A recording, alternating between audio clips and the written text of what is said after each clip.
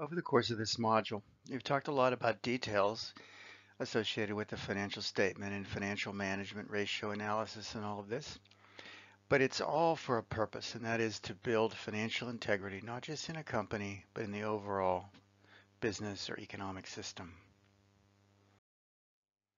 The recent financial crisis provided an example, that is in 2008, 2009, um, gave us, provided lots of examples of how poor compliance with accounting practices can cause problems, uh, can cause the system to lose trust in the investments, and therefore people become less willing to extend credit and the like. Many firms attempted to exploit different kinds of loopholes um, in other institution, in other uh, possible uh, manipulations of accounting. For example, what's called uh, off balance sheet investments. If you're a minority investor, there are situations where you don't have to consolidate all the assets onto your balance sheet. So it's easy to, you know, it was became possible to manipulate your ratios by not having the assets showing up on your balance sheet.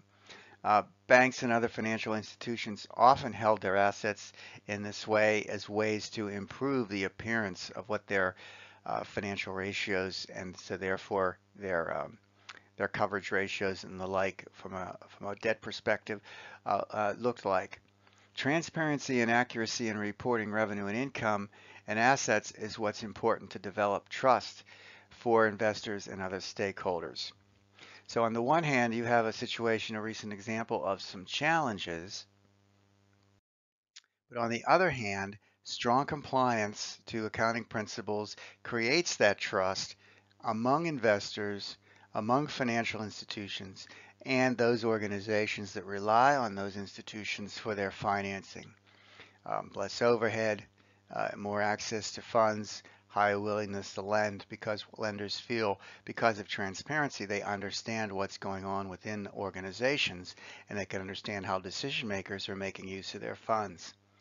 Accounting and uh, financial planning is important to all organizations, whether they're business organizations, nonprofits, or even governmental institutions. It's important to realize that when you have information that's clearly documented and recorded in a language that is known by, by other people in organizations, and is also certified by an outside organization that has public responsibilities, you have clear transparency that makes the, the, the uh, less friction in the organization, more trust in transactions, and better returns to investment, so investors overall. Those are some of the important reasons why, even though this accounting information can seem arcane and tedious, sometimes it's important to realize that you're also trying to make the system clear and transparent to all the participants so that the system itself can be trusted and respected, the overall system.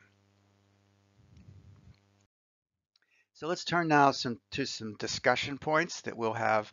Uh, we can have a discussion on Moodle. Uh, talk, for example, about why accountants are important to a corporation, what they do internally, that is the private accountants, but also the public accountants.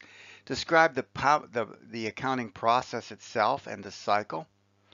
Talk about the income statement of all organizations. Um, for example, the income statements are always in the same format. Is that true or false? And lastly, why are debt ratios important in assessing the risk of the firm? I'll get some examples of that. So let's just have this discussion on Moodle and uh, we'll see you there. See you in the next module.